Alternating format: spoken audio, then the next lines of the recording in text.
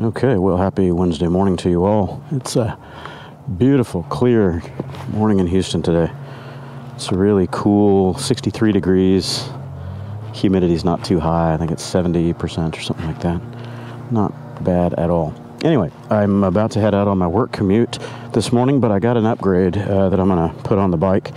Uh, the quad lock vibration damper, uh, it fits on their ball mount or any of the other mounts that they've got and it helps to uh, calm down the you know sharp impulse vibrations uh, that come through the handlebars or the mount for your you know, protect your phone a little bit. Uh, I haven't had a problem with any of my cameras dying on my phones, but I've heard that uh, a lot of uh, iPhone owners uh, do have that issue because the optical stabilization. There's actually a mechanical element to the, the camera in there. The Samsungs might be the same, but I really haven't had any problem with the cameras on mine yet, but I'm going to try to fix that. The problem that I have had is the uh, sharp impulse uh, bumps. You know, you hit a pothole, something like that, and it's enough of a vibration that it'll torque the mount. It'll actually, you know, there's enough inertia that it'll shift the mount a little bit. Uh, or in the case of the Ram X grips, it was tossing my phone out of the case or the grip. Uh, so anyway, yeah, back to this. I haven't read the instructions, but it looks pretty straightforward. And I see that they've got thread lock paste on here. I don't know if you guys can see that. That's a nice touch. I'm impressed. So what we're going to do is unscrew this little bad boy. They include the little Allen wrench in the kit. These are, uh, I think I paid $19.95 or $19.99 direct from Quadlock on their website. So sure you can get them a number of places, but uh, okay. And uh, uh, uh yeah. Uh, oh, I see what it is. That's cool. Okay, so the other, I don't know if you guys are able to see that on camera or not, but this screw is what goes into there, and then this screw just sandwiches through that. And this is a nice hollow little hole that I'm going to be able to reach through with this guy. Slick. Okay, now maybe I should RTFM, hey? Figure out the orientation, whether that needs to be up, down, sideways, round and round. Does it have an orientation preference? Eeny, meeny, miny, mo. I don't see, nah, because it looks like it can go flat. All right, so they've got it tip up. Doesn't matter. Hey, I lost a screw. Lost a piece. I felt it fall out. Doesn't, doesn't matter. Okay, good. I lost the screw and the piece. Better not do that, eh? That's kind of the important part, isn't it? Okay then. So first things first, let's put this in here. What do you think, guys? What do you think? That way? Or that way? I think that way looks better see if I can catch the little, uh, it's got teeth on there that lock it into the other piece to set your angle. Yeah, that's good. All right, so let's see if this is long enough to get some real torque. Does it go, does it go, does it go? Oh yeah, it does, look at that. Just long enough, all right. Give her a good couple of foot-pounds. And back. So all this is doing is adding a little bit of thickness, maybe what an inch, three quarters of an inch, and uh, oh yeah, it's gonna it's gonna make it vibrate around a little bit. Uh, we'll see as I ride how that plays. Um, but it's definitely going to be shock damped better than it was. So let's try that out, see how it plays. I'm not sure. I will take this with me. I'm not bringing my tank bag today because it pisses me off. Tank bag blows open all the time. A couple of the guys I rode with over the weekend uh, had tank bags on theirs, and uh, they said they didn't really have the problem with theirs blowing open. So I don't know. Maybe I got yet another lemon. Put my trash in here because I don't feel like taking it back into the house right now. Eeny, meeny, miny, mo. Get. Oh, trash can. Okay, so, oops, upside down. So back to the usual. Yeah, so that's going to be uh, bobbleheading around on the road. I'm not sure if I'm going to like that I mean, it's it'll save the phone for sure, but it might drive me a little bit insane. We'll find out.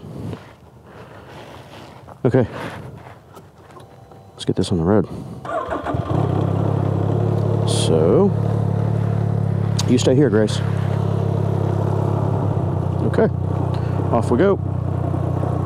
Give this a try.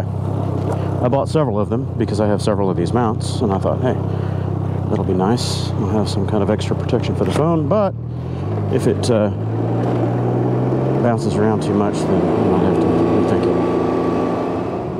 it. So I'm trying out some new camera settings today as well. Um, I don't normally record in 4K because the GoPro Quick application uh, is just notoriously buggy. And in order to get the gauge data out to put the overlays for speed, GPS, all that kind of thing on there, you have to uh, run it through that program to uh, burn in that overlay. And uh, it's just really buggy. And when you turn on 4K, it's even worse. So.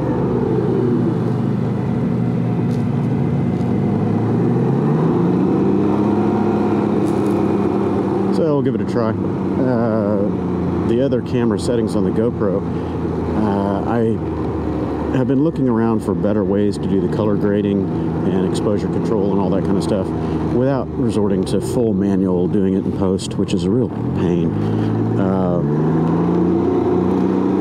I tried them a few times a while back, uh, setting the color options in the GoPro uh, using ProTune, set it to flat color profile, and a couple things like that. And it's okay, but it does involve a lot of post edit, uh, cleanup, and tuning.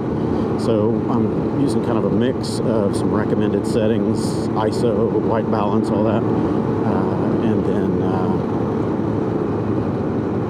letting the GoPro do part of it. So if I don't want to go through all the crazy histograms and color wheels and everything else, then I can just check my exposure and you know do basic uh, saturation, that kind of thing. Just bring up the highlights a little bit, add some color depth to it without going crazy. Anyway, long story short, I'm trying the 4K settings uh, for a little while, and uh, that gives obviously much cleaner video, and it also gives me more to work with in post edit because I can trim and do a lot of other stuff to uh, downsample uh, if I need to editing is a time vampire. It's a black hole. Once you go down that path, man, it's forever to get out, it seems like. Because then once you get a good result, you look at it and you go, oh wow, that's fantastic. Then you go back and look at all your previous stuff and go, ew, yuck. so every project you do from that point forward, you're looking at it going, ah, I really need to do this. Ah, I should do that. Ah, I couldn't do this. Ay, ay, ay.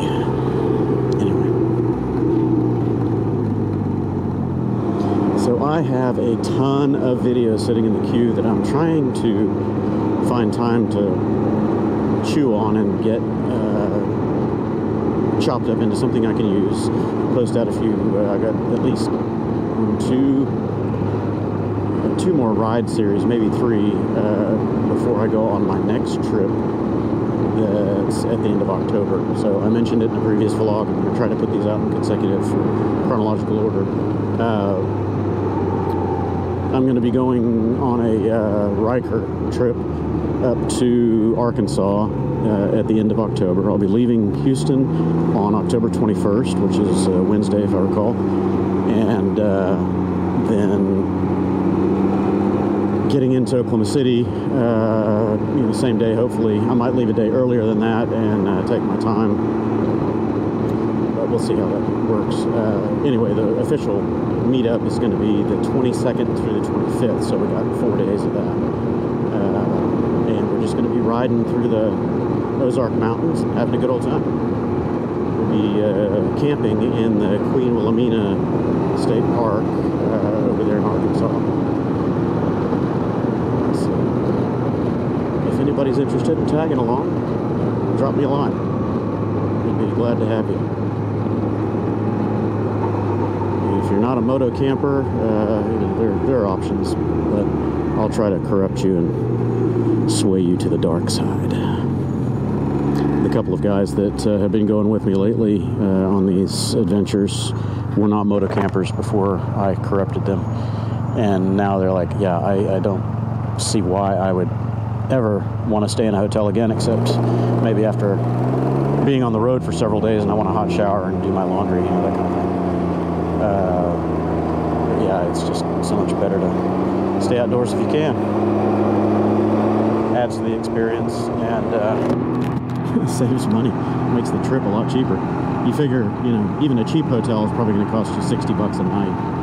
Uh, decent ones are 100, 120, 150 on up uh, and that's per night. So if you take a five, six day trip, you're looking at money there.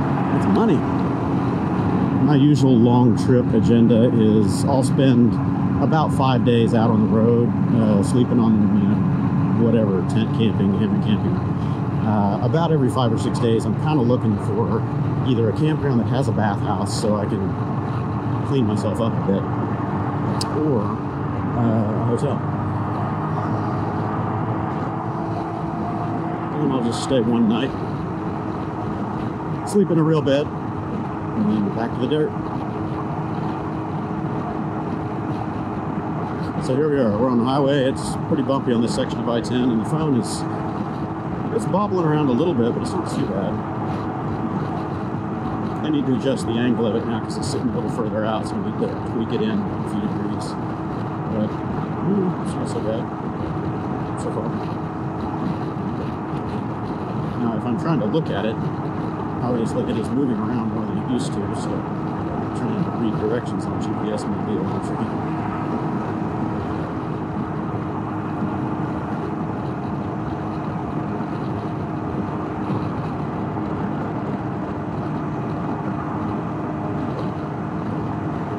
On the Ryker, uh, this might be a very worthwhile add-on because I've had my phone jump out of the X mount on the Ryker before uh, which is the reason, one of the reasons why I switched over to the quad lock. Uh, the other, you know, the primary cause of that is because of the direct steering. There's no power assist, so anytime you hit a bump, it's uh, it's really jacking the handlebars around pretty hard, much harder than a motorcycle, way way harder than a motorcycle. Uh, you know, the, the bump itself, you can get that uh, through any body with forks, but uh, it's the yaw effect when you hit a bump you know, the, the bars jack side to side pretty violently. Uh, the Super Cub uh, was also doing that out on my last road trip. I noticed that my phone mount, even with this uh, quad lock, was vibrating around really hard uh, because a lot of the uh, road bumps are coming straight through. You got that extended mount, which raises your moment of inertia there, it makes it a lot more susceptible to getting banged around, acceleration shock, The front of the bike is much more calm now. I wouldn't say it's more planted. It's kind of more planted, but it's still, you know, I've got the alignment issue that I always complain about. Uh, but as far as the uh, front suspension, uh, and these Elkas make a night and day difference in the way the bike feels. I'm really impressed. I still need to tweak them a little bit. I think I'm going to back down the compression uh, damping just a touch. I'll probably leave the rebound right where it is. It feels good. Compression is a little stiff, so I might drop a couple clicks out of it. So today I am uh, headed into the office to meet my business partner, and uh, he's got a Go Fast toy that needs to be dropped off at a local shop. Uh, he's got a 700 and something horsepower uh, Mitsubishi Evo uh, that's got an idle leak or some kind of a surge problem. It's uh, full custom. it runs uh, only E85 and uh, it's got a, I believe it's an AEM ECU in it, engine management system. So this shop is a uh, AEM authorized dealer and tuner. So he's going to take this over to them and let them take a look at it, figure out if it's uh, vacuum leak or if we've got an idle air control or whatever's going on with it. So I've been storing my Accord here at the warehouse for a few weeks just because I've been running around with the truck and doing different things. That is uh, my rally car, my poor neglected uh, child of yesteryear. Uh, it's been sitting out for a number of years now. It needs to be totally gone through. Uh, but this is a, a, wolf in sheep's clothing right here.